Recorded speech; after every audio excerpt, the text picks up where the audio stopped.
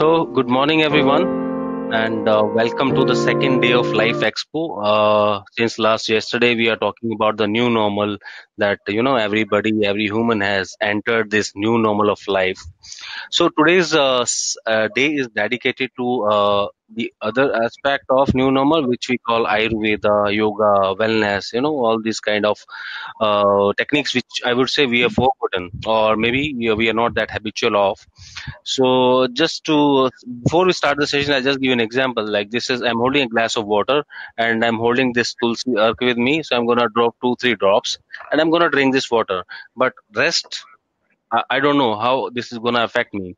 So, uh, to get more clarity on what Ayurveda holds uh, for us as a normal human being, as a common man, uh, I would like to introduce uh, our key panelist and guest speaker for today, Dr. Sunil Vashisht. And uh, just giving you brief introduction of Dr. Vashisht, uh, he is BA MS from Jammu University 1981 and MD I, uh, EY Kaya IMS BHU Varanasi in the year 1984.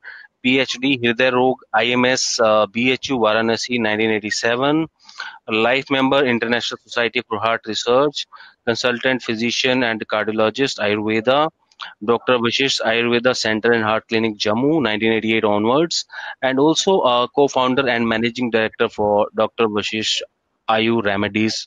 Uh, based out in Ahmedabad, Gujarat. So this, these are few words. I'm sure I cannot describe him, uh, you know, uh, throughout this whole session. So good morning and uh, welcome, Dr. Vishish, to this show and uh, today's objective is to understand this new normal of ayurveda directly from you because you are into this field since long and you are working in this field uh, i mean uh, you have studied this field. So you know the in-depth uh, knowledge about this uh, uh, about this subject because ayurveda is something we are hearing and i think covid has opened the doors to ayurveda for some time for us while sitting at home so we are hearing a lot of things uh, like kada is there you know which is increasing our immunity.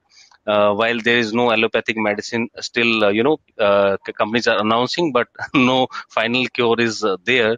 So over to you for the opening remarks, sir. Free to share your suggestion in English or Hindi or Punjabi, whatever. Over to you, sir. Thank you so much. Thank you, Sachin ji. At the very outset, I thank you and other organizations for uh, inviting us to take uh, part in this uh, expo. मैं समझता हूँ कि ये सही समय है जब हम सब लोगों को आयुर्वेद के बारे में समझना चाहिए तो जो आपको मैं थैंक्स दे रहा हूँ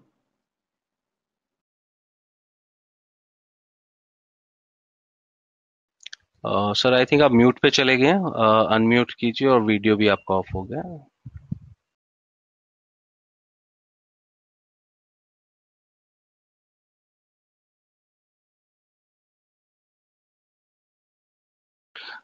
हाँ, एक अनम्यूट और कर लीजिए sir Is it Yes, fine now? yes, yes, yes, clear, sir. Sorry, I don't know how it happened. No problem. I don't know. इस समय ह्यूमैनिटी क्रॉस रोड्स पे खड़ी है और कोरोना ने इस बात को सिद्ध कर दिया है। ये सही समय है कि जब हम एक बार अपनी हर चीज़ को रीअसेस करें the world the way the world has been headed for किस तरफ़ हम जा रहे थे और हमें किस तरफ़ जाना चाहिए। कोरोना ने हमें मजबूर कर दिया है इस बात को सोचने के लिए। आयुर्वेद के बारे में सच पूछिए तो लोगों का जो नॉलेज है, जो अवेयरनेस है, वो बहुत सतही है सुपरफिशियल है। इसको अब ज़रूरत हो गई है और ज़रूरत से ज़्यादा मजबूरी हो गई है दुनिया की, ये जानने के लिए कि एक्चुअली आयुर्वेद क्या है। तो विदाउट मिन्सिंग वर्ड्स वर्ड्स मैं बिल्कुल क्लियर कट कुछ बातें आप लोगों के साथ करूँगा, जो I don't know who the participants are लेकिन मुझे इतना पता है कि बहुत सारे आयुर्वेद डॉक्टर्स भी इसमें पार्टिसिपेट करने वाले हैं तो उनके लिए तो कोई नई बात नहीं होगी। But for rest of the people I would like to clarify certain points. And I discuss the whole thing in in the form of questions. तो सबसे पहला क्वेश्चन ये है कि आयुर्वेद क्या है? आयुर्वेद क्या गोली, जड़ी बूटी, चटनी है? The answer is no Ayurveda एक लाइफ साइंस है, और हम भारतीयों को इस बात का एक गौरव होना चाहिए कि विश्व के अधिकांश भूखंडों में जब अंधकार छाया हुआ था, अज्ञान छाया हुआ था, उस समय हज़ारों वर्ष पूर्व इस देश में एक बहुत बड़ी सभ्यता पनप रही थी, और उसमें Ayurveda full fledged system of life एक लाइफ साइंस जो है विश्व के इस भूखंड को स्वास्थ्य सेवाएँ दे रहा था। और वो भी ऐसे नहीं। On the basis of eternal principles और वो सबसे बड़ा प्रिंसिपल आयुर्वेद का क्या है? ये हम सबको जानना ज़रूरी है। आयुर्वेद विश्व की एक ऐसी चिकित्सा पद्धति है, ऐसा जीवन विज्ञान है, जो व्यक्ति को यूनिवर्स के साथ ट्यून इन करने की सलाह भी देता है और उसकी टेक्निक भी बताता है। एक बहुत सिंपल कोटेशन है, यथा लोके तथा पिंडे। संस्कृत में है। इसका मतलब क्या हुआ? लोक होता है universe whatever is happening in the universe is getting reflected inside the bodies of all the living creatures whatever is happening जो कुछ दुनिया में हो रहा है, जो कुछ यूनिवर्स में हो रहा है, वो सारे का सारा हमारे सबके शरीरों के ऊपर प्रभाव डालता है। आयुर्वेद इस बात को कहने वाला शायद एकमात्र जीवन विज्ञान या लाइफ साइंस या मेडिकल साइंस है। और ये बहुत बड़ी स्टेटमेंट है। क्योंकि मॉडर्न मेडिसिन जो है it is a system of medicine बात को समझिए। Modern medicine is a system of medicine naturopathy is a system of health where Ayurveda is a system of life ये एक लाइफ साइंस है और ये जन्म से पूर्व से समय शुरू होकर मृत्यु तक पूरे हर एस्पेक्ट को डील करता है आयुर्वेद वो है। उसमें हेल्थ भी आती है, उसमें डिज़ीज़ भी आती है and disease is just a part of Ayurveda management of disease is just a part इस बात को हमें समझना पड़ेगा। अब सवाल ये उठता है कि आयुर्वेद अगर इतना इफ़ेक्टिव था तो क्यों ऐसा हुआ कि आज आयुर्वेद एक priority system of medicine system of health नहीं है? बहुत सारे कारण हो सकते हैं।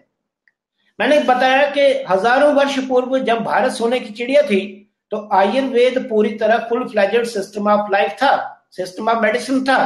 लेकिन बाद की घटनाओं ने जिस समय इस सिस्टम को डेवलप होना चाहिए था, उस समय भारत के लोग एक दूसरे की पीठ में छुरा भोंक रहे थे। विकास रुक चुका था। बाहर के लोग आते जा रहे थे। बाहर की विचारधाराओं ने भारतीय विचारधारा को रोक दिया था। विकास नहीं हो सका और उसका परिणाम अल्टीमेटली ये हुआ कि जब पश्चिम में विकास शुरू हुआ, इससे चार पाँच सौ साल पहले विज्ञान शुरू हुआ, उस समय तक हम लोग पूरी तरह दरिद्र हो गए थे भारतवासी। हमारे यहाँ कोई रिसर्च नहीं हो रहा था और चार पाँच सौ साल में विश्व और खास करके पश्चिमी दुनिया और मॉडर्न मेडिसिन उस जगह पहुँच गए जहाँ पे कभी आयुर्वेद हो सकता था, अगर इस प्रकार की प्रगति भारत में होती, लेकिन नहीं हुई। और उसका परिणाम यह हुआ कि भारत का आयुर्वेद भारत में ही आज दूसरे दर्जे की चिकित्सा पद्धति बन के रह गया। तो इसमें बहुत सारे लोगों का दोष है, लेकिन समय दोषारोपण का नहीं है। समय है ये रीथिंक करने का कि हम क्या कर सकते हैं। हमारी रेलेवेंस क्या है? आज की दुनिया में क्या आयुर्वेद रेलेवेंट है? तो हमारा मानना है कि रेलेवेंट ही नहीं है आयुर्वेद आज की दुनिया में इनडिस्पेंसिबल होता जा रहा है। और कोरोना ने इस बात को सिद्ध कर दिया। तमाम विकास के बावजूद, तमाम एडवांसेस के बावजूद मॉडर्न मेडिसिन हाथ खड़े करके खड़ी हो गई। ये कहने के लिए कि कोरोना का हम कुछ नहीं कर सकते। और जैसा अभी अभी कहा गया कि आयुष काढ़ा दिया गया, भारत सरकार को भी आना पड़ा मॉडर्न मेडिसिन को भी अल्टीमेटली इधर आना पड़ा आयुर्वेद का वो आयुष काढ़ा इतना प्रचलित हो गया कि करोड़ों लोग उसको ले रहे हैं और आज मुझे लगता है इतिहास में पिछले चार पाँच सौ साल में पहली बार हम उस जगह, उस पॉइंट ऑफ़ टाइम पे खड़े हैं, जहाँ आयुर्वेद को लोगों ने सीरियसली लेना शुरू किया है। ये बहुत बड़ी ज़िम्मेदारी है, क्योंकि इससे पहले 15 अगस्त उन्नीस में भारत आज़ाद हुआ और 15 अगस्त 2020 तक अगर देखा जाए तो मॉडर्न मेडिकल रिसर्च या एलोपैथिक रिसर्च पे जो पैसा खर्च किया गया और जो आयुर्वेद की रिसर्च पे खर्च किया गया, उसको देखने की ज़रूरत है। आप देखिए मॉडर्न मेडिकल रिसर्च में मैं ऐसा नहीं कहता हूँ कि इसकी ज़रूरत नहीं है। उसकी ज़रूरत है। इपिडेमियोलॉजी में ज़रूरत है। रोगों का क्या कैरेक्टर रहता है, वो जानने की ज़रूरत है कि भारत के किस भाग में कौन सा रोग होता है, कौन सा कम है, कौन सा ज़्यादा है, किस एज में, कौन से, किस जेंडर में रोग ज़्यादा होते हैं, कम होते हैं। लेकिन अदर देन दैट मैं प्रश्न करता हूँ आपके इस मंच से कि जितना पैसा एक गरीब टैक्स पेयर का भी मॉडर्न मेडिसिन की रिसर्च में खर्च किया गया उससे भारत में कितना पैसा आया? हम क्या एक्सपोर्ट कर सके? ये एक्सपो है। हम इसमें एक्सपोर्ट की बातें करेंगे कि हम भारत जो विश्व गुरु रहा है, वो विश्व को क्या दे सकता है? मॉडर्न मेडिसिन में कितने टेकर्स हैं भारत में हुई रिसर्च को लेने वाले? मुझे लगता है कि कोई बहुत सारे दरिद्र गरीब देशों को छोड़ दीजिए, कोई लेने वाला नहीं है। लेकिन आयुर्वेद में भारत आज भी विश्व गुरु है। आयुर्वेद के द्वारा आज भी भारत विश्व को बहुत कुछ दे सकता है, लेकिन क्या वर्तमान परिस्थितियों में? जिस प्रकार से न के बराबर रिसर्च पे आयुर्वेद में पैसा खर्च हुआ है, क्या उसके बेसिस पे हम विश्व की जरूरतों को, जो स्वास्थ्य संबंधी चैलेंजेस हैं, चुनौतियाँ हैं, उनको पूरा कर सकते हैं? No no. हमें ज़रूरत है अपना आउटलुक बदलने की।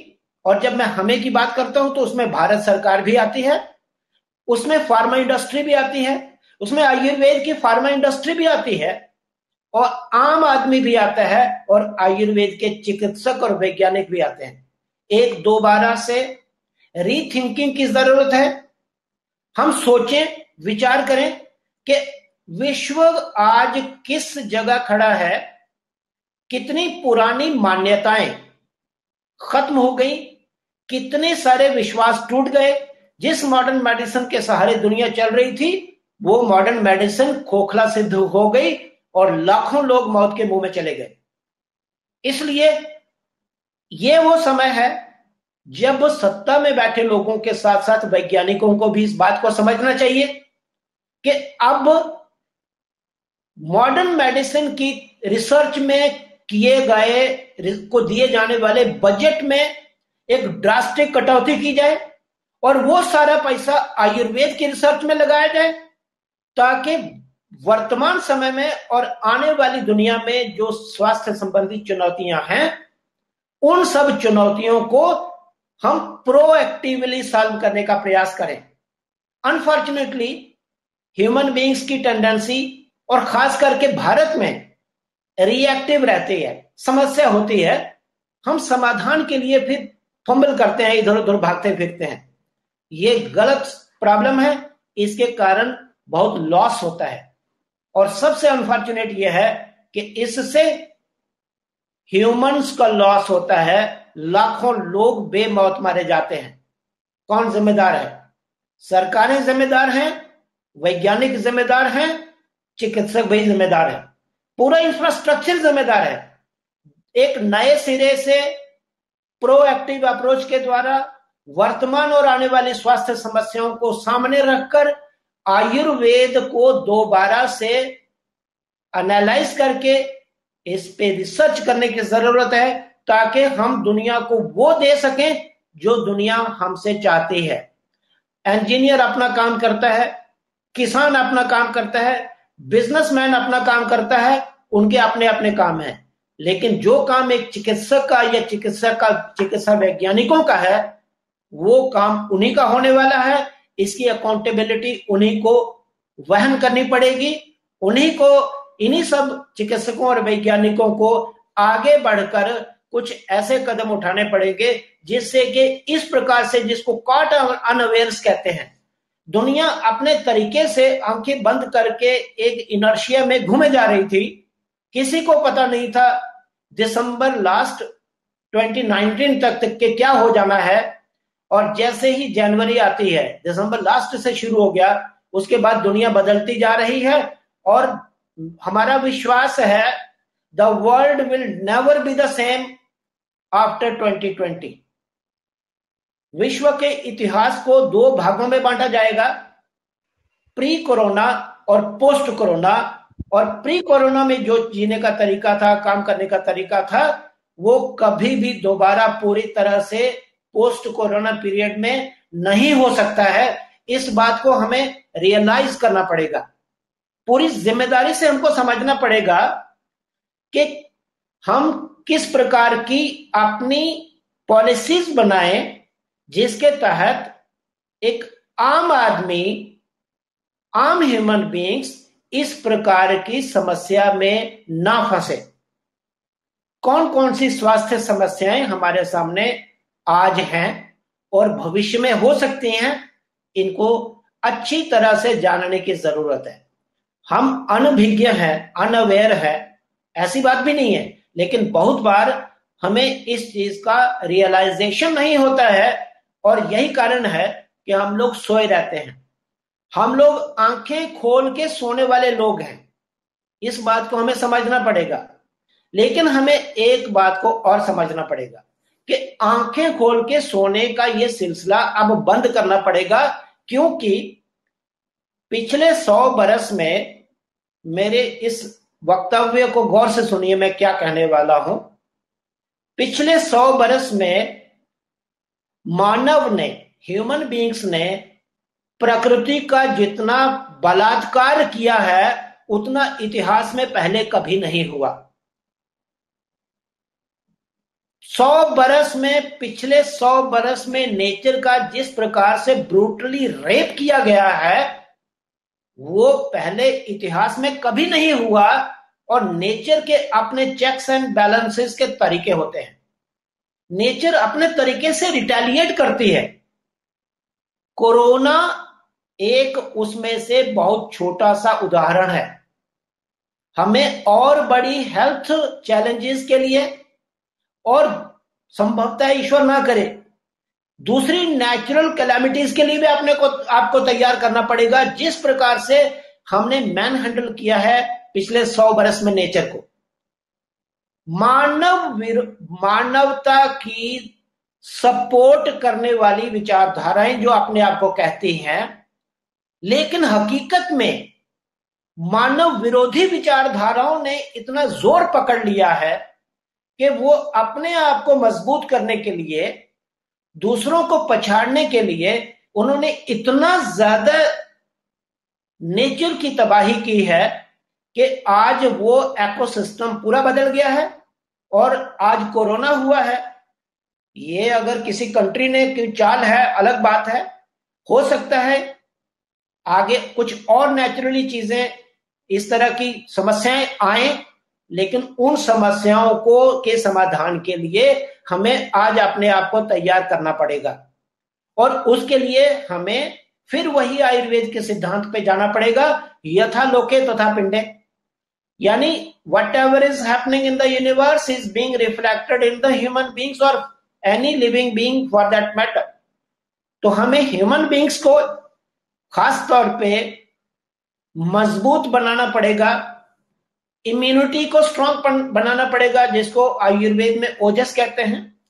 और इम्यूनिटी को स्ट्रांग बनाने के लिए बहुत सारे तरीके हैं। उनमें से एक तरीका आयुर्वेद की औषधियाँ भी हैं। औषधियाँ एक तरीका है, सब कुछ नहीं है। हम किस तरह से सोते हैं, जागते हैं, उठते हैं, बैठते हैं, सोचते हैं, काम करते हैं बिहेव करते हैं, ये सब कुछ हमारे इम्यून सिस्टम की हेल्थ को डिटरमिन करता है। तो आयुर्वेद को अगर होलिस्टिकली हम अप्लाई करते हैं, क्योंकि जैसे मैंने शुरू में कहा कि ये एक जीवन विज्ञान है ये पूरे लाइफ के हर एक पहलू, हर एक एस्पेक्ट को डील करता है। और अगर हम उसे अपनाना शुरू करते हैं तो व्यक्ति इंडिविजुअल पर्सन वो वो मज़बूत होगा, उसकी इम्यूनिटी मज़बूत होगी। और जैसा कहा गया कि survival of the fittest corona इस बात को बता रहा है चीख चीख कर कह रहा है कि आने वाले समय में वही लोग ज़िंदा रहेंगे जो फिटेस्ट होंगे। आज भी हमें पता लग रहा है कि जिन लोगों ने, जिनकी इम्यूनिटी किसी भी कारण से कमज़ोर थी, किसी क्रॉनिक डिज़ीज़ के कारण कमज़ोर थी माल न्यूट्रिशन के कारण कमज़ोर थी एल्कोहलिक्स थे उनके कारण कमज़ोर थी, जो सिगरेट स्मोकिंग करते थे उनके कारण उनके लंग्स की इम्यूनिटी कमज़ोर थी, ऐसे लोगों पे कोरोना का इफ़ेक्ट ज़्यादा हो रहा है। तो क्या ये नेचर का तरीका है सर्वाइवल ऑफ़ द फिटेस्ट में, वो जो कमज़ोर है, उसको वो हटा देती है। लेकिन क्या हम हाथ पे हाथ धरे रखकर कुछ लोगों को कमज़ोर रहने दें? नहीं। हमें आज ज़रूरत है सारी दीवारें तोड़कर, सभी प्रकार की विचारधाराओं को पीछे छोड़कर ह्यूमैनिटी की विचारधारा को सामने रखकर विश्व में हर एक ह्यूमन बीइंग की इम्यूनिटी को स्ट्रांग बनाने का प्रयास करना पड़ेगा और उसके लिए जो कुछ विज्ञान कहता है, हम आँखें बंद करके केवल आयुर्वेद की बात करें, ऐसी बात भी नहीं है। विज्ञान ने भी उन्नति की है, प्रगति की है। वैज्ञानिक तौर पे जो सिद्ध थॉट्स हैं, उनको हम अपनाएँ। आयुर्वेद के जो शाश्वत, जो इटर्नल जो प्रिंसिपल्स हैं, उनको अपनाएँ और व्यक्ति की इम्यूनिटी को स्ट्रांग बनाने का प्रयास करें। ये पहला होना चाहिए। वो पूरी तरह से लाइफ स्टाइल क्योंकि अभी क्या हो रहा है? कोरोना से वो लोग ज़्यादा मरे, जैसे मैंने कहा, जिनकी इम्यूनिटी कमज़ोर थी। लेकिन इम्यूनिटी के अलग अलग तरीके होते हैं। जब इम्यून डिसऑर्डर्स होते हैं, मोटे तौर पे तीन होते हैं। किसी की इम्यूनिटी कमज़ोर हो सकती है, जिसको हम कहते हैं पुअर इम्यूनिटी या इम्यून डेफिशिएंसी आयुर्वेद में इसको ओजक्षय कहते हैं। ऐसे में बहुत सारे लोगों को अलग अलग अलग इन्फेक्शन अदरवाइज़ जो दूसरे लोगों को नहीं भी अफेक्ट करें, और आप लोग जानते हैं कि मान लो डायबिटीज़ के कारण हो, या एड्स के कारण हो, या किसी और चीज़ के कारण हो, अगर इम्यूनिटी कमज़ोर होती है तो इन्फेक्शन बार बार लगती हैं। और विशेषकर से, विशेषकर जो वायरल इन्फेक्शन हैं, वो तो ज़्यादा होती। तो इम्यूनिटी को स्ट्रांग बनाने के लिए हमें कुछ करना चाहिए। फिर एक और ग्रुप ऑफ़ डिजीजेस जो बहुत ज़्यादा बहुत ज़्यादा प्रचलित होता जा रहा है। चालीस, पचास साल पहले ऐसा माना जाता था कि ऑटो इम्यून डिसऑर्डर्स बहुत कम होते हैं। पाँच, दस, पंद्रह डिजीजेस थी। चालीस पचास साल पहले जो मानी जाती थी कि ऑटो इम्यून डिसऑर्डर्स हैं। आज ऐसे रोगों में की गिनती में सौ से ज़्यादा डिजीजेस हो गई हैं और ऑटो इम्यून का मतलब क्या होता है?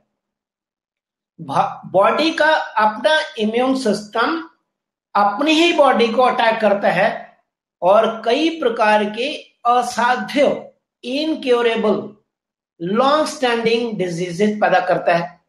जिनमें से एक रिमेटेड आर्थराइटिस आती है सोराइसिस भी उसी में से आती है। एस होती है। फाइब्रोमाइल्जिया तक एक डिज़ीज़ है, वो आ रही है। तो ये जो ऑटो इम्यून डिसऑर्डर्स बहुत ज़्यादा कॉमन होते जा रहे प्रेवलेंट हो रहे हैं, उनको देखिए। और इसी का एक वेरिएंट एलर्जिक डिसऑर्डर है। व्यक्ति का इम्यून सिस्टम ज़रूरत से ज़्यादा ज़ोर से रिएक्ट करता है, कुछ जो हार्मलेस सब्सटेंसेस हैं, इन सब चीज़ों में बेसिकली इम्यूनिटी इन्वॉल्व है। तो चाहे इम्यून सिस्टम की बीमारियाँ हैं एलर्जिक बीमारियाँ हैं बार बार होने वाली इंफेक्शन है सो मच सो कि कैंसर तक माना जा रहा है कि immune system has a major role to play जिन लोगों को मेलिग्नेंट डिजीजेस होती हैं कैंसर होता है कहीं ना कहीं उनका इम्यून सिस्टम इन्वॉल्व होता है।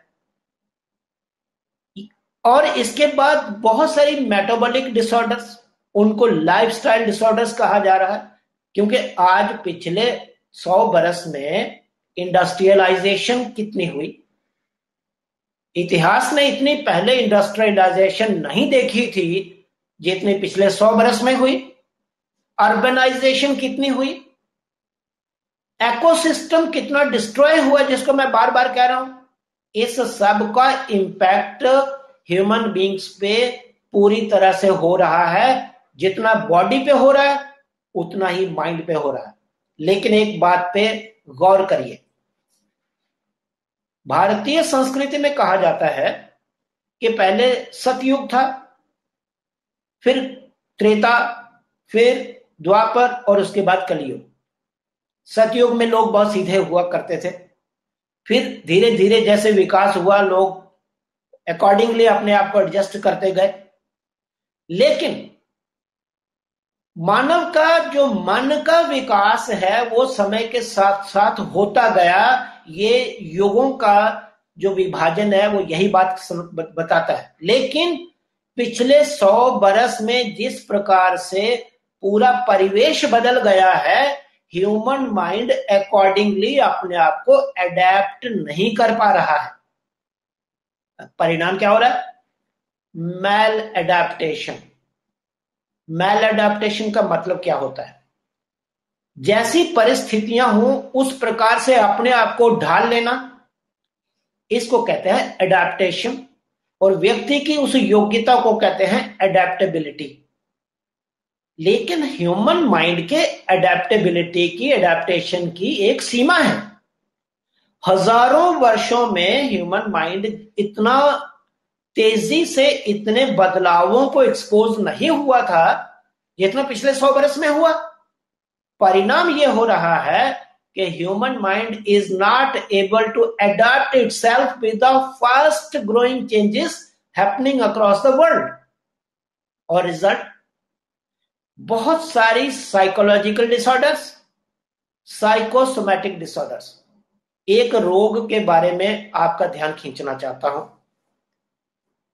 उसका नाम है फाइब्रोमायल्जिया ये बहुत बाद में टर्म आई है 1990 के लगभग। उससे पहले इसको अलग अलग नामों से कहा जाता था। इस फाइब्रोमायल्जिया में पेशेंट को पूरे शरीर में बहुत दर्दें होती हैं। लेकिन दर्दों के साथ साथ उसके मन के ऊपर बहुत बुरा असर पड़ता है। डिप्रेशन भी होती है एंग्जाइटी भी होती है, बहुत सारी दूसरी प्रॉब्लम्स होती हैं। और इसके साथ साथ ऑटो इम्यून प्रॉब्लम्स भी होती हैं। कुछ लोगों को रिमेटाइड आर्थराइटिस भी होती है, कुछ को डायबिटीज़ हो जाती है। आप इस बात के पे गौर कर मैं जिसकी तरफ़ इशारा कर रहा हूँ।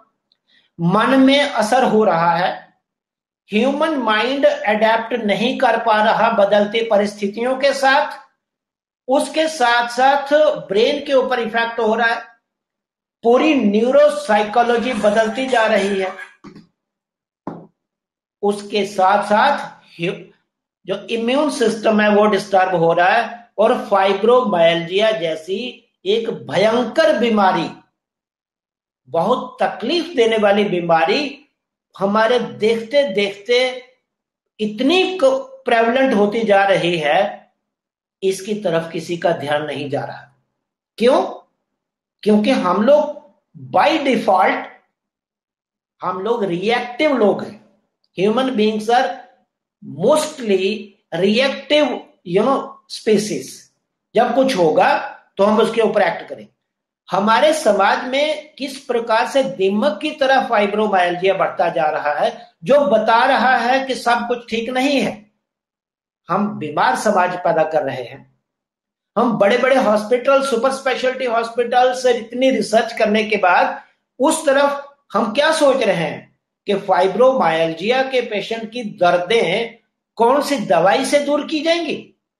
क्या ये ट्रीटमेंट है? No the treatment is what are the factors that is that are resulting in the production of fibromyalgia generation causation of fibromyalgia fibromyalgia एक एक एग्ज़ाम्पल है डायबिटीज़ बढ़ती जा रही कैंसर बढ़ता जा रहा जैसे मैंने कहा ऑटोइम्यून डिसऑर्डर्स बढ़ते जा रहे हैं वायरल इंफेक्शंस बढ़ती जा रही और एक समस्या और है जो बढ़ती जा रही। और वो समस्या क्या है? वो समस्या है बैक्टीरियल रेजिस्टेंस टू एंटीबायोटिक्स क्यों? क्योंकि जैसे मैंने कहा ह्यूमन बींग्स की जो अप्रोच है, वो लार्जली रिएक्टिव होती है इंफेक्शन होती है। आप एक व्यक्ति को इंफेक्शन हुई बैक्टीरियल इंफेक्शन हुई एंटीबायोटिक्स दी गई। दोबारा इंफेक्शन हुई, फिर उससे बड़ी एंटीबायोटिक दी गई। तीसरी बार इंफेक्शन हुई, उससे स्ट्रॉन्गर इन्फेक्ट एंटीबायोटिक्स दी दी गई। और यहाँ तक कि दक्षिण एशिया को, साउथ एशिया को दुनिया में बहुत इस दृष्टि से देखते हैं कि ये एलोपैथिक दवाइयों की एक डंपिंग ग्राउंड है। जिस, जो चीज़ कहीं नहीं चलती, जिसका कोई टेकर नहीं है बाकी दुनिया के हिस्सों में, उसको अगर डंप करना है, बेचना है तो दक्षिण एशिया में चले जाइए। यहाँ के डॉक्टर्स रेकलेस यूज़ करते हैं एलोपैथिक दवाओं का। Recklessly carelessly without without thinking for the real interest of the patient जो मेडिसिन आए, वो देते जाते हैं और उसमें से मिस यूज़ हुई है antibiotics use against the treatment of bacterial infection result क्या हो रहा है? आज बहुत सारे bacteria they have gone resistant to bacterial you know antibiotics solution क्या है? मॉडर्न मेडिसिन आप कुछ भी देख लीजिए, मैं सर्जरी की बात नहीं करता। और सर्जरी मॉडर्न मेडिसिन को अगर मिली है तो दो विश्व युद्धों की देन है। अगर फ़र्स्ट वर्ल्ड वार और सेकंड वर्ल्ड वार नहीं होती तो मॉडर्न मेडिसिन की सर्जरी आज भी बहुत ज़्यादा प्रिमेटिव होती। दो विश्व युद्धों में इतना सारा चैलेंजेस आए कि मॉडर्न मेडिकल सर्जरी एडवांस हो गई फाइन फिर उसी के साथ कुछ मेडिसिन के ऊपर भी ड्रग्स के ऊपर मालिक उस पर काम हुआ फाइन लेकिन वो वो जो काम हुआ मॉडर्न मेडिकल रिसर्च में, वो ज़्यादातर क्या था? सप्रेसिव था. इरेडिकेटिव नहीं था. Those medicine were not aimed at eradicating the disease processes. Those medicines those drugs those molecules were directed at giving relief or improvement, symptomatic improvement to the patients largely. Result क्या हो रहा है आज modern medicine मैं पूरी ज़िम्मेदारी के साथ स्टेटमेंट देने जा रहा हूँ modern medicine has reached a blind alley blind end एक मॉलिक्यूल अगर किसी कंपनी को मार्केट में उतारना है, नया मॉलिक्यूल उसमें टेन बिलियन डॉलर्स खर्च होते हैं। और टेन बिलियन डॉलर्स खर्च करने के बाद अगर कंपनी को यह पता चले कि ये मॉलिक्यूल इफ़ेक्टिव नहीं है, या इसमें कोई सीरियस साइड इफ़ेक्ट है एडवर्स इफ़ेक्ट है तो वो मेडिसिन वो मॉलिक्यूल मार्केट में लॉन्च नहीं हो सकता तो 10 बिलियन डॉलर खर्च करने वाली कंपनी की कमर टूट जाती है। तो आज क्या हो रहा है? No new molecules are being introduced in the market बस जो पुराने हैं, उनको थोड़ा बहुत चेंज करते जाइए। इस बात का पूरा ध्यान रखते हुए कि रोग इरेडिकेट नहीं किया जाना चाहिए। बस इस तरह की स्थिति एलोपैथिक मेडिकल फार्मा कंपनियों की है। अब दूसरी नज़र आप डालिए आयुर्वेद पर। दस हज़ार से ज़्यादा, उससे भी ज़्यादा, चालीस हज़ार से भी ज़्यादा कुछ हर्ब्स होंगी, लेकिन मैं कहता हूँ दस हज़ार से ज़्यादा हर्ब्स तो वेल नोन है, जिनका मेडिसिनल यूज़ होता है। लेकिन सच्चाई क्या है? सच्चाई ये है कि आयुर्वेद आज भी एक अनएक्सप्लोर्ड फ़ील्ड है।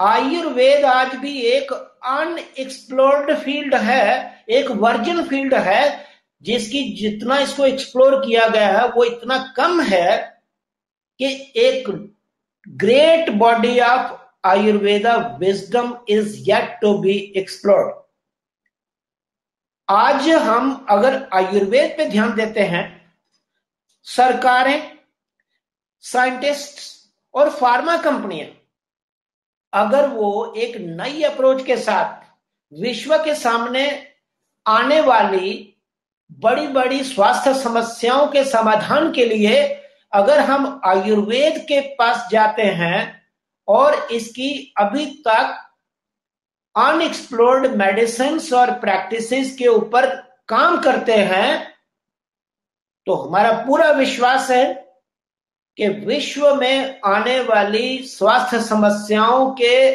अधिकांश स्वास्थ्य समस्याओं के समाधान आयुर्वेद देने की क्षमता रखता है। लेकिन शर्त यह है कि हम ईमानदारी से आयुर्वेद को एक्सप्लोर करें। मैं आयुर्वेद चिकित्सक हूँ, वैद्य हूँ। मैं इस ज़िम्मेदारी से अपने आप को मुक्त नहीं कर रहा कि आयुर्वेद अगर आज अपने ही देश में दूसरे दर्जे की चिकित्सा पद्धति बन गया है तो मैं जिम्मेदार नहीं हूँ। मैं भी हूँ। आयुर्वेद जो चिकित्सा का समाज है कम्युनिटी है, वो भी है। लेकिन जो सामाजिक और राजनीतिक परिस्थितियाँ थी, वो इतनी बड़ी थी कि वो सामान्य व्यक्ति के नियंत्रण से परे थी, इसलिए हम लोग उसमें ज़्यादा कुछ कर नहीं सकते थे। कुछ हद तक आयुर्वेद की फार्मा इंडस्ट्री भी इसके लिए जिम्मेदार है। आप लोगों में से काफ़ी लोगों को पता नहीं होगा कि भारत की कुछ फार्मास्यूटिक आयुर्वेदिक फार्मास्यूटिकल कंपनियाँ साठ सत्तर साल से भी पुरानी है। कुछ एक सौ साल से भी पुरानी है।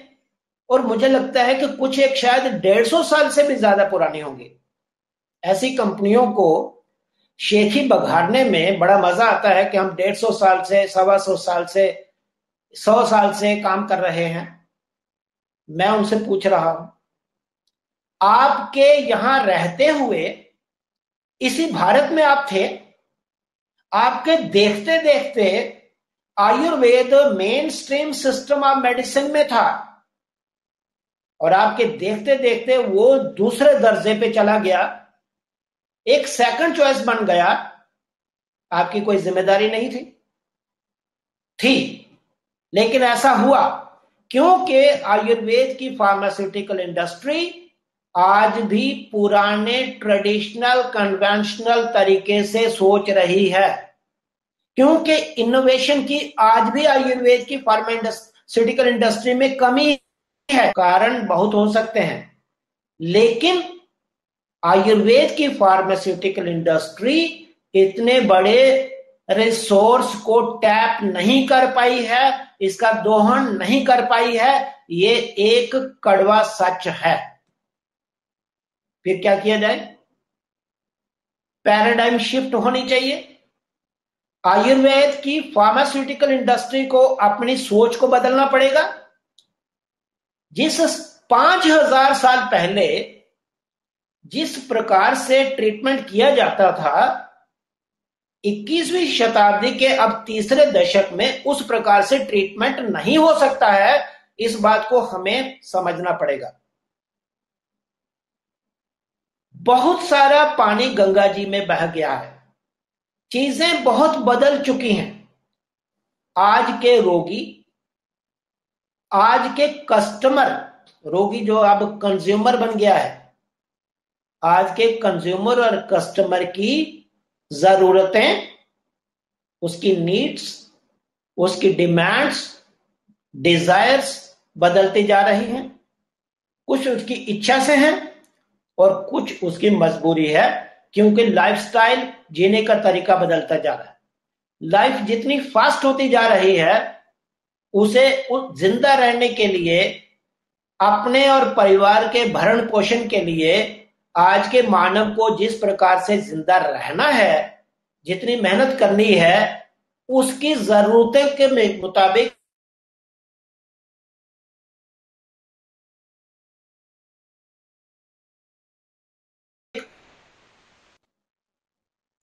दवाई बना रहे हैं, हम पाँच हज़ार साल पुराने तरीके से, और ट्रीट कर रहे हैं, हम 21वीं शताब्दी के तीसरे दशक में, किसी अब आने वाले एक दो साल में, तीसरे दशक में हम प्रवेश करने जा रहे हैं, और जो कुछ एक थोड़ी किसी ने इनोवेशन किया है, कुछ कंपनियों ने किया भी था, सच पूछा जाए तो वो एक कॉस्मेटिक था। वो एक कॉस्मेटिक इनोवेशन थी। एक्चुअली इनोवेशन नहीं थी। वो बस थोड़ी सी चेंज थी। बेसिक जो, जिसको डिसरप्शन कहते हैं, जिसको एक out of the box thinking कहते हैं, वो आयुर्वेद की फार्मास्यूटिकल इंडस्ट्री नहीं कर पाई। और रिज़ल्ट अपने ही देश में हमारा आयुर्वेद चिकित्सक फार्मास्यूटिकल इंडस्ट्री से खुश नहीं है। वो कहता है कि मुझे वो सब दवाइयाँ आप क्यों नहीं देते हैं जो मॉडर्न मेडिसिन के डॉक्टर्स को मॉडर्न फार्मास्यूटिकल इंडस्ट्री देती है? मेरा आयुर्वेद चिकित्सक वहाँ पे बिल्कुल ठीक है। हम कहीं कमज़ोर रह गए फार्मास्यूटिकल इंडस्ट्री को वो जो करना चाहिए था वो नहीं किया, परिणाम हमारे सामने आया अब क्या किया जाना चाहिए? फार्मास्यूटिकल इंडस्ट्री का मैं आह्वान करता हूँ। फार्मास्यूटिकल इंडस्ट्री का मतलब मैं होल फार्मास्यूटिकल इंडस्ट्री की बात कर रहा हूँ। मैं उनका आह्वान करता हूँ कि आयुर्वेद एक अनएक्सप्लोर्ड फ़ील्ड है।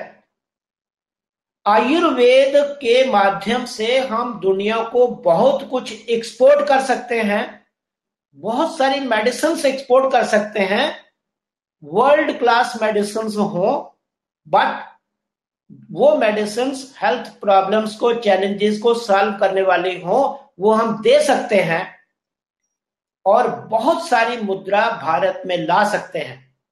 मैं इसलिए बिज़नेस की बात करता हूँ, उसके दो रीजन हैं। ये एक्सपो वेबिनार हो रहा है। इसलिए भी ये रेलेवेंट है। दूसरा हम लोग भी फार्मास्यूटिकल इंडस्ट्री में हैं, आयुर्वेद की फार्मास्यूटिकल इंडस्ट्री में हैं।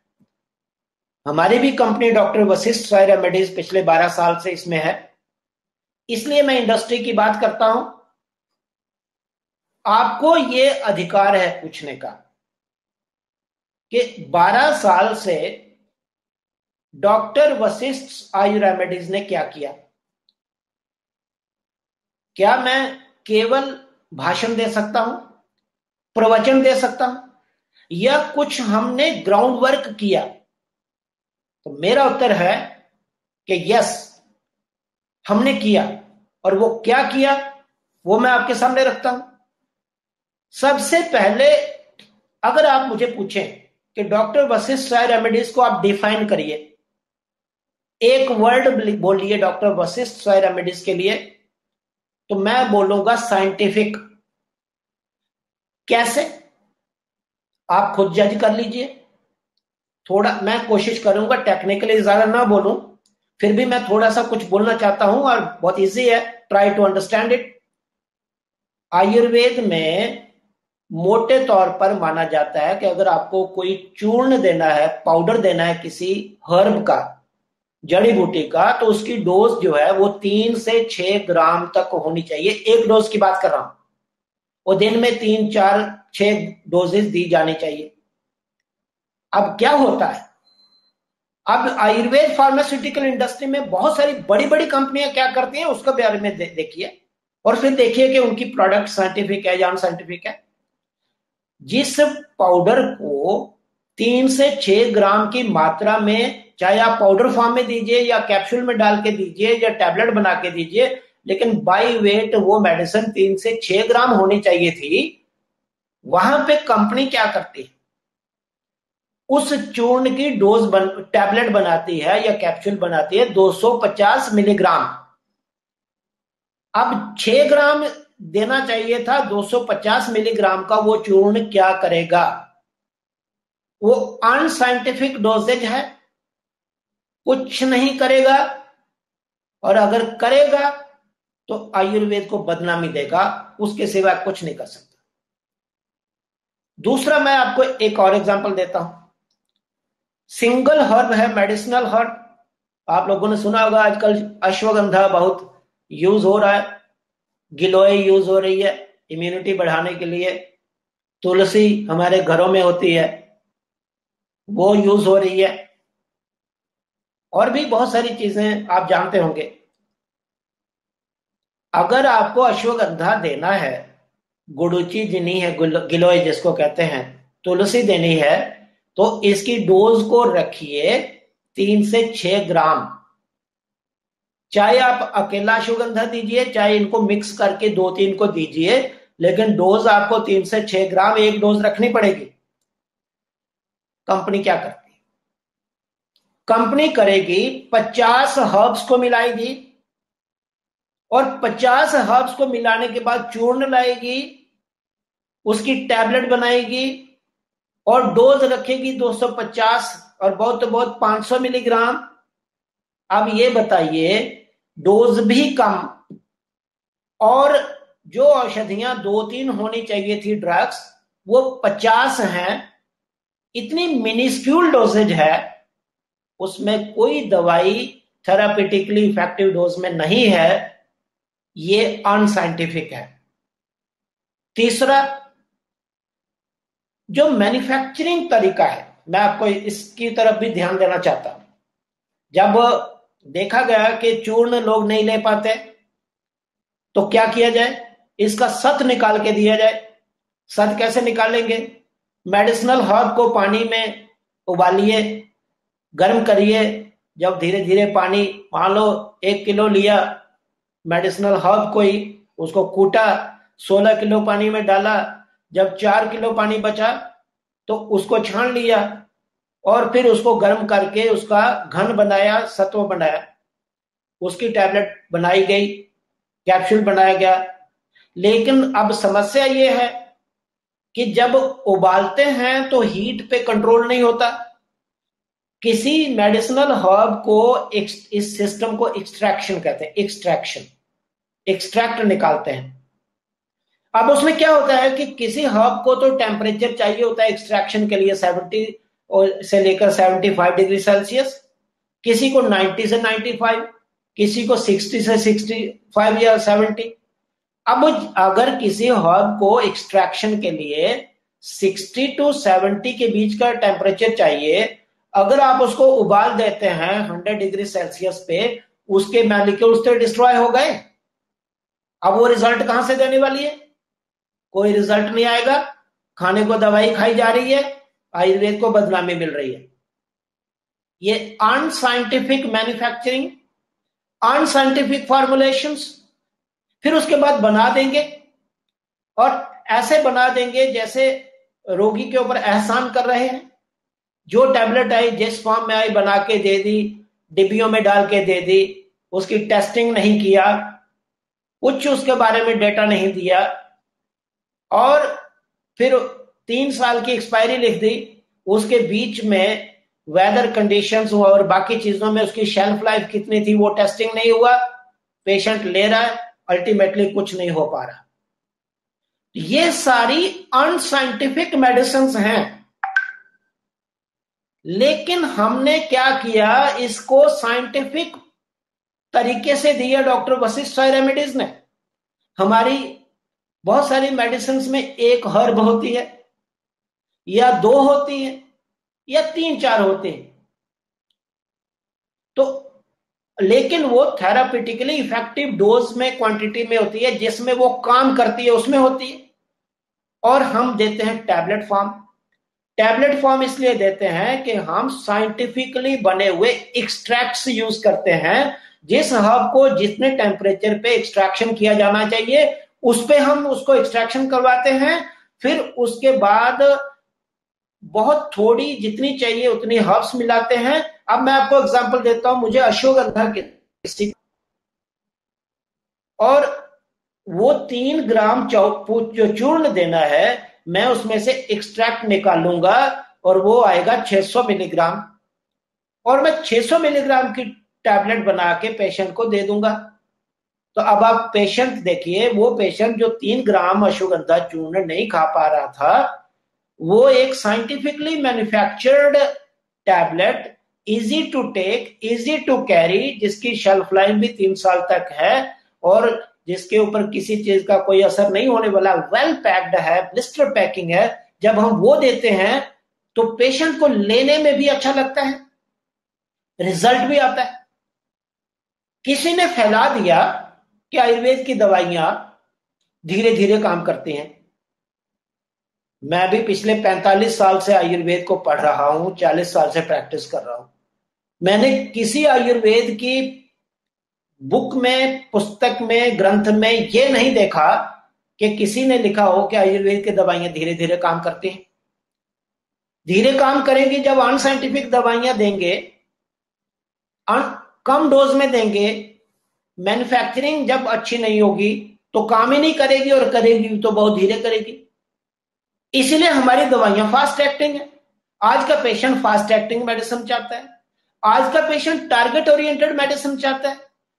आज का पेशेंट ये नहीं चाहता मैं बहुत सारी दवाइयाँ लू। तो हम क्या कहते हैं कि भाई ज़्यादा दवाइयाँ मत लीजिए, एक ही लीजिए ना। डॉक्टर्स को रिक्वेस्ट करते हैं, भाई कम दवाइयाँ दीजिए। टारगेट पे काम करने वाली थोड़ी दवाइयाँ दीजिए। एक्चुअली हम क्या कर रहे हैं? हम कोई बिजनेसमैन नहीं। मैं सातवीं पीढ़ी का वैद्य हूँ अपने कुल में। मेरी मैडम एमडी आयुर्वेद हैं, मैं भी हूँ, जैसा सचिन जी ने शुरू में इंट्रोड्यूस किया। एमडी पीएचडी हूँ। आयुर्वेद हमारा धर्म है। हम एक मॉडल तैयार कर रहे हैं। इस दुनिया के लिए और आने वाली दुनिया के लिए कि आयुर्वेद की मेडिसिन अगर बनानी है तो इस तरह से बनाई जाए। इस मॉडल को फॉलो किया जाए। वर्ल्ड क्लास प्रोडक्ट्स हम बना रहे हैं। वर्ल्ड क्लास प्रोडक्ट्स बनाई जाए। दुनिया को दी जाए। उसके बाद मैं ये क्लेम नहीं करता हूँ कि हम 100 परसेंट रिज़ल्ट देंगे, लेकिन 70 टू 80 परसेंट तो दे ही देंगे। और 70 टू 80 परसेंट भी रिज़ल्ट कम नहीं होते। ये बात तब हम पूरे कॉन्फिडेंस से कहते हैं, जब हमने चीज़ों को किया है, कर रहे हैं, और अप्रिसिएशन वर्ल्ड ओवर हमको अगर मिल रही है तो मेरी सब लोगों से, सरकार में बैठे लोगों से ये प्रार्थना है। वैज्ञानिकों से प्रार्थना है, चिकित्सा वैज्ञानिकों से विशेषकर, आयुर्वेद के चिकित्सकों से मेरी प्रार्थना है। आयुर्वेद फार्मास्यूटिकल इंडस्ट्री से प्रार्थना है। फार्मा इंडस्ट्री को मैं आह्वान कर रहा हूँ कि आयुर्वेद को घिसे पटपिटे तरीके से एक outdated worn out system of medicine मत मानिए। ये लिविंग सिस्टम है, पृथ्वी पर सबसे, मुझे लगता है एक ही सिस्टम है, जो हज़ारों सालों से चला आ रहा है और आज भी वो टक्कर दे रहा है मॉडर्न मेडिसिन को, कई जगह पछाड़ देता है, और जो ईमानदार एलोपैथिक डॉक्टर हैं, इस बात को मानते हैं। हमारे साथ पर्सनल डिस्कशंस में मानते हैं कि एलोपैथिक मेडिसिन में देने लायक बहुत ज़्यादा कुछ है नहीं, और आयुर्वेद में बहुत कुछ है। तो जब इतना कुछ आयुर्वेद में है और भारत का एक ट्रेजर है, ये खजाना है, इस खजाने को हम क्यों नहीं इसका लेवरेज करें, इसका लाभ लें, दुनिया को दें, दुनिया के हेल्थ को अच्छा करें, उनको, उनके रोगों को बचाएँ, रोगों से उनको बचाएँ, साथ में भारत में पैसा लाएँ, क्योंकि आज की दुनिया और आने वाली दुनिया बिज़नेस वर्ल्ड होने जा रही है। पुरानी सोच खत्म होते जा रही है। कोरोना में भी लोग लगे हुए हैं पैसा कमाने में। जिन कंट्रीज़ पे देने के लिए उनके पास बहुत है, वो बहुत पैसा कमा रहे हैं। हमें इस बात की नजाकत को समझना है कि अगर हमें ज़िंदा रहना है एक नेशन के रूप में, अगर हमको ग्रो करना है तो हमें अपने उन रिसोर्सेज को टाइम टेस्टेड रिसोर्सेज को आइडेंटिफाई करना पड़ेगा जो समय की कसौटी पर हज़ारों साल से पूरा उतरते आ रहे हैं, आज भी वो पूरी तरह से रेलेवेंट हैं रादर इनडिस्पेंसिबल बनते जा रहे हैं। ऐसे रिसोर्सेज को हम पूरी तरह से टैप करें। आयुर्वेद उनमें सबसे टॉप पे है, इस बात को रियलाइज़ करें। हम किसी भी जगह किसी से कम नहीं है, इस बात को महसूस करें। और जिस प्रकार का ये एक्सपो ये वेबिनार अभी किया जा रहा है, सचिन मनोचा जी को मैं फिर से धन्यवाद देता हूँ कि उन्होंने ये इनिशिएटिव लिया। और विशेष धन्यवाद कि उन्होंने हमारा चुनाव किया। आई डोंट नो उनको क्या क्राइटेरिया था। उन्होंने हमारा चुनाव किया कि डॉक्टर वशिष्ठ को बुलाया जाए डॉक्टर वशिष्ठ रेमेडीज को पार्टिसिपेट करवाया जाए। तो विशेष रूप से मैं, मैंने बहुत ही दिल से धन्यवाद दिया है सचिन जी को और पूरी टीम को कि आप लोग आयुर्वेद के लोग नहीं हैं। इन, आप लोग इंडस्ट्री के लोग हैं अपने अपने आप के आईटी के लोग हैं, अपना काम कर रहे हैं। उसके बावजूद भी आपकी निष्ठा मानवता के साथ, आपकी निष्ठा भारत के साथ इतनी जुड़ी हुई है कि आज आपको ये रियलाइजेशन हो रहा है कि भारत के इन रिसोर्सेज को हम टैप करें। तो आयुर्वेद उनमें सबसे ऊपर है, आपने ऊपर रखा, हमें पूरा इतना बोलने का मौका दिया, आपने उद्गार व्यक्त करने का मौका दिया, और जो ऑडियंस है, जो व्यूअर्स हैं, सबको धन्यवाद कि आप लोगों ने इतनी देर सुना। पूरी कोशिश की गई कि आयुर्वेद और स्वास्थ्य की पूरी सही पिक्चर आपके सामने रखी जाए। आधुनिक वर्ल्ड में और आने वाले टाइम में क्या होने जा रहा है, वो सब कुछ आपके साथ शेयर करें। मेरी कोई इच्छा नहीं थी किसी को पीड़ा देने की। अगर किसी को तकलीफ़ हुई होगी तो मैं क्षमा माँगता हूँ। लेकिन हमने जो बोला है, हमने, हम डॉक्टर वशिष्ठ राय रेमेडीज की ओर से पूरी टीम केवल और केवल मानवता के भले के लिए वर्ल्ड क्लास मेडिसिन बना रहे हैं और मानवता के भले के लिए ही हर समय सोचते हैं। बहुत बहुत धन्यवाद। विशेष रूप से सचिन जी का। Sure thank you so much बहुत बहुत धन्यवाद, सर, आप आए और हमें जो चीज़ें नहीं मालूम थी, उसके लिए हमें पता चला। और thanks to all audience who have attended this session and just an again want to thank doctor Vashisht for his presence जो आयुर्वेदा के बारे में स्टिल कुछ कंफ्यूजन था कि साइड इफेक्ट्स है, नहीं है और जो मेन बीमारियाँ जिनकी मैं दो की बात करूँगा एक डायबिटीज़ जो बहुत ज़्यादा है और दूसरा अगर हम मिडल एज में या यू नो फिफ्टी अबव अगर हम जाते हैं हम अपनी माँ को या पिताजी को देखते हैं तो आ, उनकी प्रॉब्लम आती है कि ज्वाइंट्स में प्रॉब्लम है। तो वो फिक्स दवाई है उनकी कि उनको जाना ही जाना है टेस्ट होना ही होना है। Every two months three months sugar है तो मेटामोरफिन आपको मिलनी ही मिलनी है और वो ज़िंदगी भर चलनी है और कोई इलाज है नहीं उसका। तो आई एम श्योर आयुर्वेदा में कुछ ऐसा होगा। अगर आप दो लाइन इन दो चीज़ों के ऊपर बोल सकें तो बहुत बहुत धन्यवाद सर धन्यवाद सचिन जी। बहुत कुछ है। आयुर्वेद में डायबिटीज़ के ट्रीटमेंट के लिए बहुत कुछ है। बहुत सारी मेडिसिन दी जाती हैं। हालाँकि डायबिटीज़ एक प्रोग्रेसिव डिज़ीज़ है। एक सीमा के बाद पेशेंट का इंप्रूवमेंट थोड़ा कम होता है, लेकिन समस्या क्या है, उसको आप समझ लीजिए। ज़्यादातर आयुर्वेद चिकित्सकों पे, के पास पेशेंट्स कब आते हैं। जब डिज़ीज़ बहुत पुरानी हो गई हो, अगर आज डायबिटीज़ शुरू हुई और 20 साल के बाद पेशेंट हमारे पास लेने ट्रीटमेंट लेने आएगा तो हम उतनी हेल्प पेशेंट के नहीं कर पाएँगे।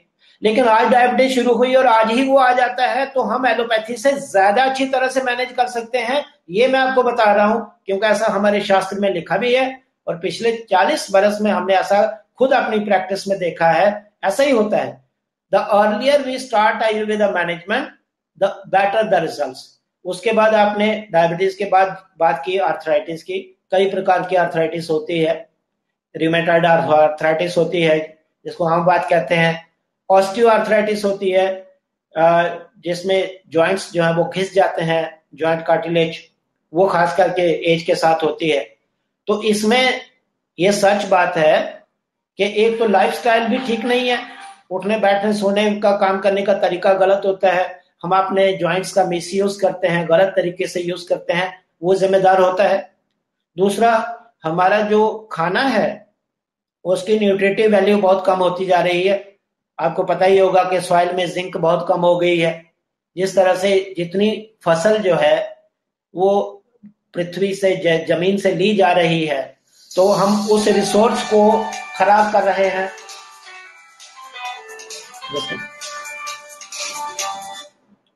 तो ये बहुत सारे फैक्टर्स हैं, और उसके साथ कुछ और फैक्टर्स भी होते हैं कि कई बार हम लोग जिसको आज कहते हैं कि ये रिफाइंड ऑयल्स लिए जा रहे हैं तो उसमें से विटामिन ई e निकाल लेते हैं। तो वो विटामिन ई e निकाला हुआ रिफाइंड ऑयल जब लेते हैं तो विटामिन ई e तो वैसे ही हेल्थ के लिए ज़रूरी होता है। तो इन सब चीज़ों को भी हमें ध्यान में रखना पड़ेगा।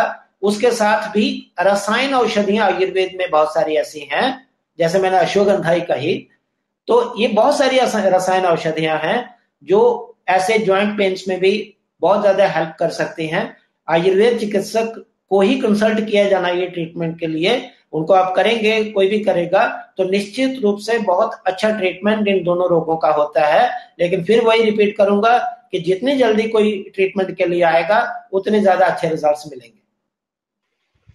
Sure sure thank you sir so बहुत बहुत धन्यवाद आपका, आपके आज के टाइम के लिए कि आप यहाँ पर आए और आयुर्वेदा के बारे में आपने बात की, जो मेरे हिसाब से अभी तक अनटच सब्जेक्ट है। इवन आज की डेट में भी अगर हमें बुखार होता है, सिर दर्द होता है तो हमें सिर्फ़ ही पैरासिटामोल ही याद आती है। और आई एम श्योर कि कमिंग टाइम में कुछ ऐसा टाइम आए कि कुछ ऐसी प्रॉब्लम हो तो हम आयुर्वेदा की तरफ़ दौड़े कि हाँ मुझे ये वाली औषधि लेनी है। तो आई एम श्योर कि वो टाइम भी बहुत जल्दी आने वाला है।